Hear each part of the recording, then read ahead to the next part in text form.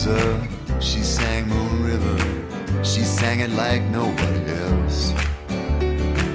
She stood by the microphone, but not too close. She filled up that stage all by herself.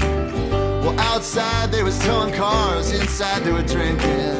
They had all brought their scars, gonna bleed their way to fame. Well, she wore a cheap dress, she was no damsel in distress. She opened her mouth, and I lost track of my name.